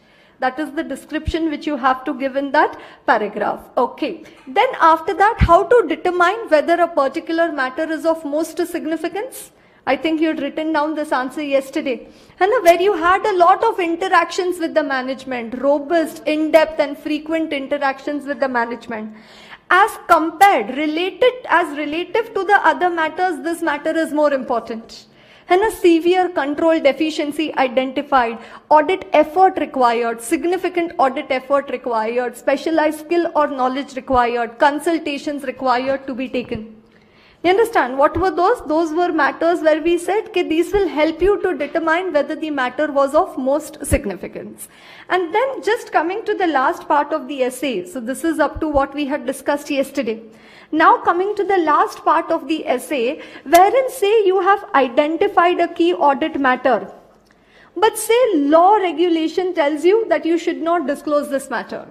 Or it is not in public interest, you know, that you tell this matter to the public. And it is not in the public interest and you should not disclose this matter. So actually as an auditor, you have identified it to be a key audit matter. But what law regulation precludes the disclosure? Precludes matlab it does not allow. And as a company may example, there is a huge fraud which has taken place. Or there is some, you know, non-compliance with law regulation which is there. So you say, I want to write this in the key audit matter, but say law regulation, or if it is not in public interest to write such matter in the report. So then in that case, what are the procedures which you should perform? when you know there could be a case study in the exam that management has requested the auditor that in public interest they should not give the following matter in the key audit matter paragraph in the report as an auditor how would you deal with the situation so they are telling you it is not in public interest. It is not required by law regulation. You don't put this matter even though if it is a key audit matter. So one, what you will do, you will understand from the management okay, what exactly is the matter. And understand the matter. Then very important, it says you check the communication with the regulatory authorities. And you check the communication with the regulatory authorities regarding that matter. Like, you know, listed company matters would be dealt in with by SEBI. Banking company would be dealt in by RBI. So communication with the regulatory authorities. You understand? You can also check the communication with the regulatory authorities regarding that particular matter. Then after that, it says you encourage the management to disclose the matter Encourage the management. What they are telling it is not in public interest. It is not required by law regulation. But what does the standard say? That auditor, you please encourage the management. Okay, management, I think it's better we disclose it in the report. And so encourage the management. But still they say, okay, auditor, no. Then what you can do? One, always one option is there with you. Obtain the written representations. Otherwise what? Tomorrow you will go in jail. They'll say, auditor, तुम्हें तो पता था, फिर भी तुमने नहीं बताया.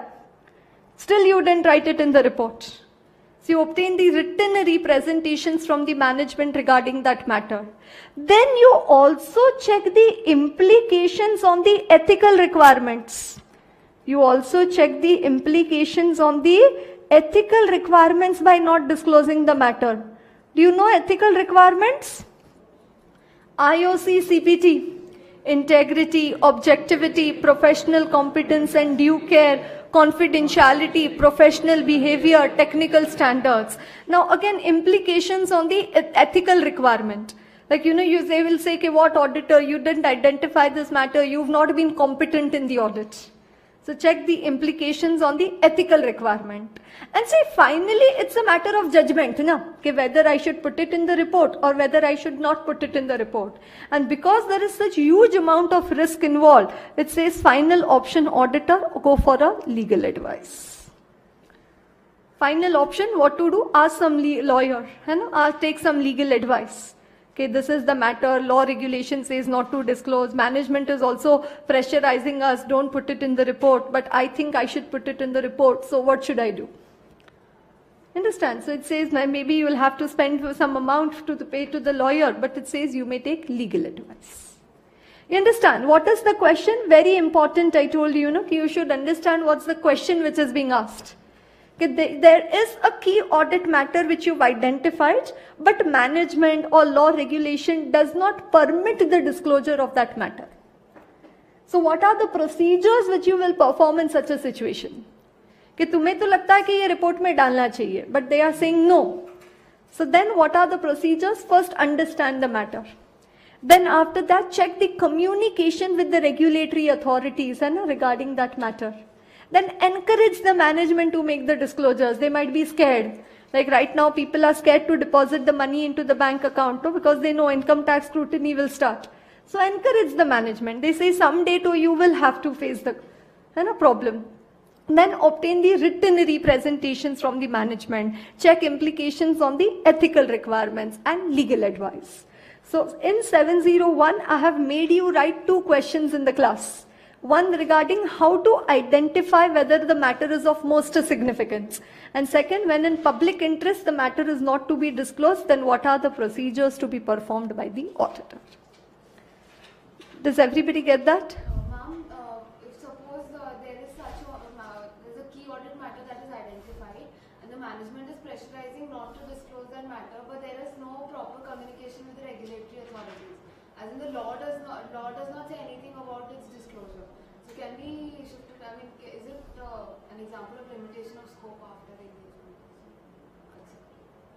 Yes, so in that case, you it will be considered as limitation on scope. So you encourage management, and still they are not agreeing. So they will have some justification for the same. No.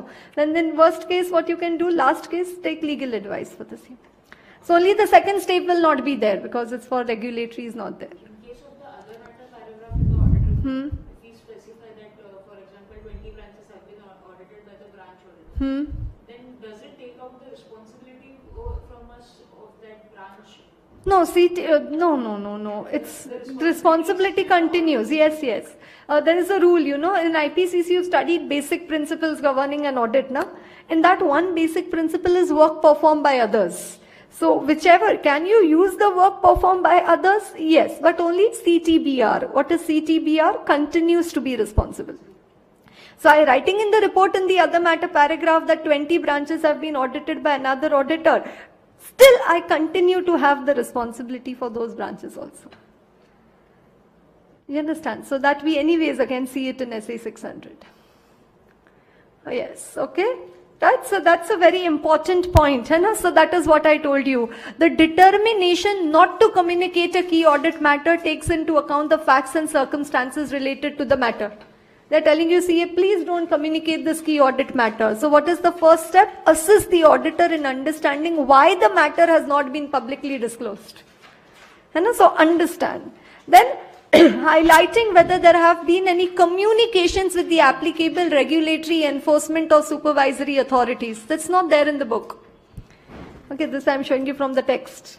Yes, any communications with the regulatory enforcement or supervisory authorities in relation to the matter. In particular, whether such discussions would appear to support management's assertion as to why public disclosure about the matter is not appropriate.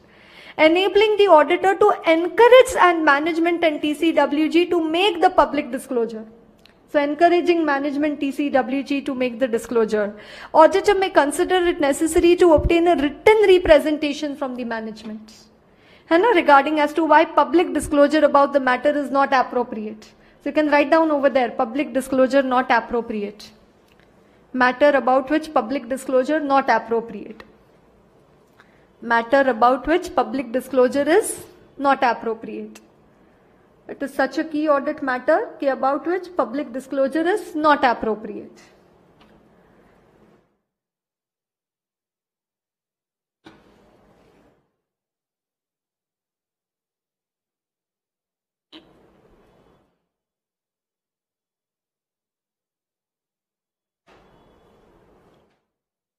Right, then it may also be necessary to for the auditor to consider the implications of communicating the matter in light of the relevant ethical requirements.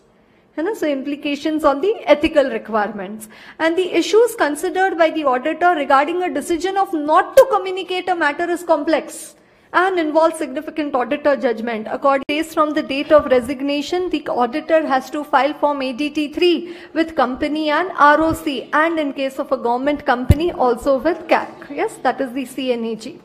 Right. Then after that we talked about SA 706 that was regarding the emphasis of matter paragraph and other matter paragraph in the independent auditor's report.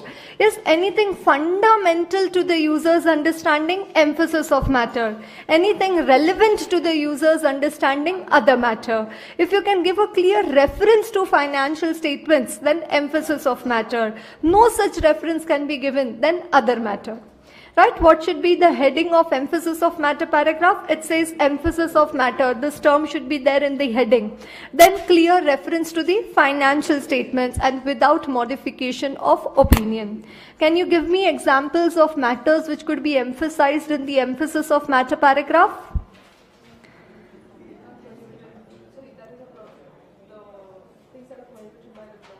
Things which are prohibited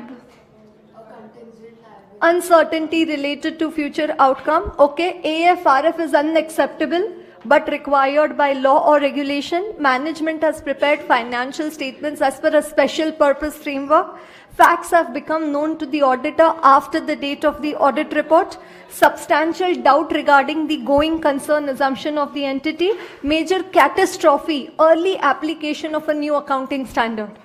है ना those are all examples of emphasis of matter paragraph and other matter paragraph what are the examples Yes, other matter paragraph, auditor wanted to resign because there was a limitation on scope, but he could not resign. The report is only for a specific set of users, and a specific set of intended users, and should not be distributed to or used by other parties, and other third parties. Law regulation permits him to give further explanation. And a client has asked him to perform some additional procedures and report upon the same. Another set of financial statements have been prepared. Right? So that is emphasis of matter paragraph and other matter paragraph in the independent auditor's report. And these two paragraphs, they don't have any fixed location. And they are floating. You understand? They may go anywhere, but then generally on an average, title, addressee. Then opinion, basis for opinion. Then what we had seen in SA 700, going concern, key audit matters. So before key audit matters, I will write emphasis of matter and say after key audit matters, I may write other matter. Then management's responsibility, auditor's responsibility. Sometimes this other matter may come over here also when some of the branches have been audited by another auditor. Then you have the other reporting responsibilities and then you have the signature, place and date. And this opinion basis for opinion will become qualified opinion, adverse opinion or disclaimer of opinion and basis for qualified opinion, basis for adverse opinion and basis for disclaimer of opinion. Right? So in case of a modified opinion, this is in case of an unmodified opinion and this is in case of a modified opinion, SA 705, modifications to the opinion. Right? So is the content of this key audit matters is coming from SA 701, emphasis of matter paragraph, SA 7